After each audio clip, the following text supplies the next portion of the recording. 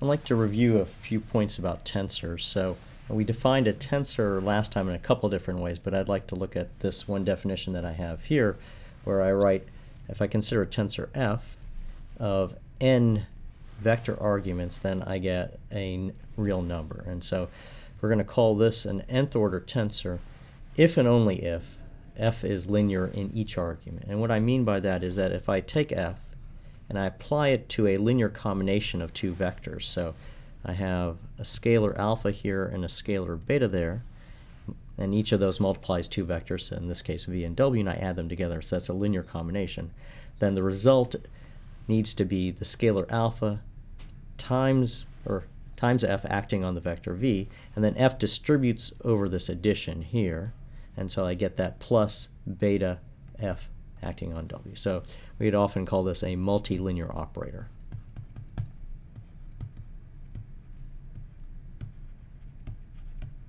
So it's linear in each argument, so that's why it's multi. So it's not just in one argument, it's in multiple arguments. Um, the, the, the first sort of simple tensor that we looked at was the dyadic product.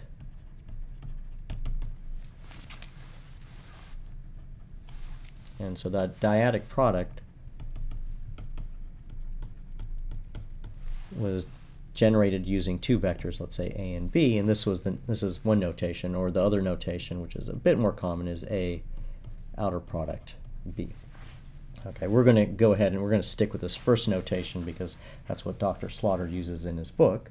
And the, the way we defined this originally is we said AB, and I'll put a square bracket here just to remind ourselves these are grouped together. Acting on a vector v is defined to be the number b dot v, so that's just a number when I take that dot product, times the first vector a. Okay?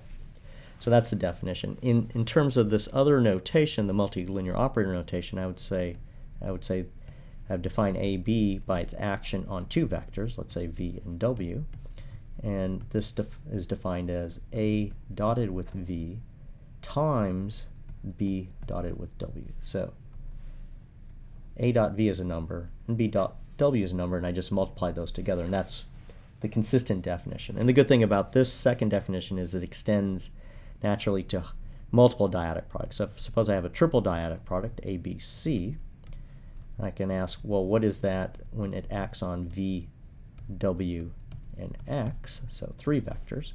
And the natural extension definition of this is that I take all the mutual dot products. So I'll have A dot V, that's a number, times B dot W, which is a number, times C dot X. So I just have the product of these three dot products as the definition of the triple dyadic product. Um, often we when we work with these higher order tensors we, we don't act they don't act upon the same number of vectors as uh, the order of the tensor and so and that that's okay and so the way to understand that is suppose I have AB acting on just one vector so I'll leave the first argument open and I, the way you do this is you just apply the rule in the arguments that you have something, and then in the arguments where you don't have anything, you just leave it alone. So this, what this means is b dot v, which is a number, times the vector a. Uh, the alternate way of writing this would be to say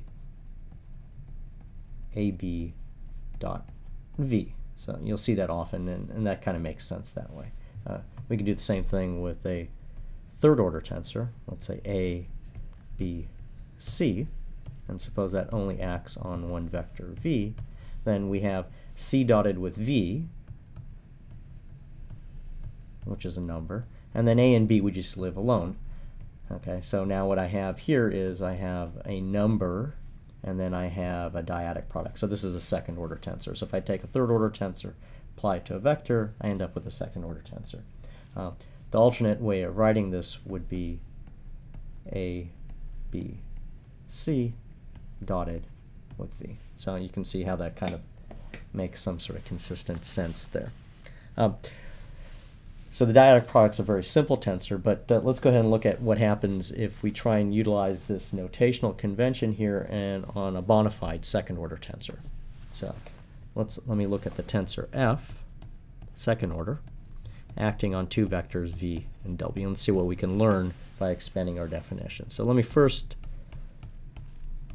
expand VE, I'll write that as VI EI hat, and I'll write W as WJ EJ hat. Now, F is multilinear, and so that says that I can bring any out any scalar multipliers out in front of F, and I can do that in any argument here. So, so I can write this if I want as VI WJ F acting on EI hat EJ hat. Okay, and I'm going to go ahead and I'm going to define this number. So F acting on two vectors is number. I'll call that Fij, and these are the components. We'll call them the components of F. So what I have in the end here then is Fij Vi Wj. Okay. Now I'm going to play a couple of tricks. I have a contraction on I and a contraction on j. And so the contraction on a, I, I'm going to rewrite. I'm going to have Fij delta Ik Vk Wj. So I've broken up the summation on the i's and written it in terms of this delta ik. But if you look at this, I'm only going to get something when i equals k. So the two lines are exactly the same. And I can do the same thing with the summation on j. I can write this as Fij delta ik delta jl vk wl. Okay? And now I'm going to make the observation that the Kronecker delta delta ik, I can write that as ei hat dot ek hat. And I can do the same thing with the delta jl. I can write that in terms of ej hat dotted with el hat. So I have fij ei hat dot ek hat ej hat dotted with el hat vk wl. Well, if I look at this now, I have all these dot products, and that's just between vectors as, as though I had a dyadic product acting on two different vectors. So I can rearrange this a little bit. I can write this as Eij, Ei hat, Ej hat, so that's a dyadic product there, times, or acting on, Vk, Ek hat, Wl, El hat.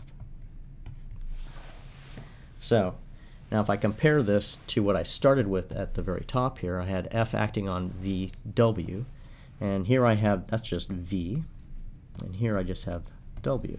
So now I can make the identification here that what's in the square brackets here is just F. So I can write F as equal to its components acting on EI hat, EJ hat. So it's just an alternate way of writing out F, this time directly in terms of its components. It's very similar to the fact that I can write V in terms of its components, VK, EK hat. Okay, so I can do the same thing with second order tensors. And this extends nicely to higher order tensors too. So for instance, if I want the components of a third order tensor, say A, I apply it to three basis vectors. And this will give me its components a, i, j, k, and alternately I can write a in terms of the components and the basis vectors directly, and I'll have a triple scalar or dyadic product eij k. So this is just another way of writing it. It's rather useful. Okay, so let me, uh, there's one last thing that I'd like to review, and that's something known as double contraction.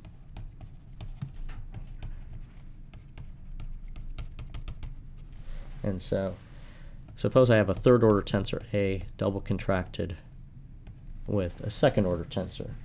And let me just define what I mean by this. First let me expand this.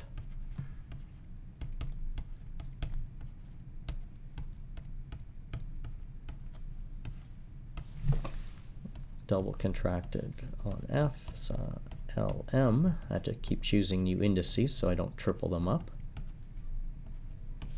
And so what I mean by this is that I'm going to apply this third order tensor individually on the uh, vectors here that make up the dyadic product defining f. So I'm going to end up I'm going to contract those guys there, or dot product them, and take the dot product there. So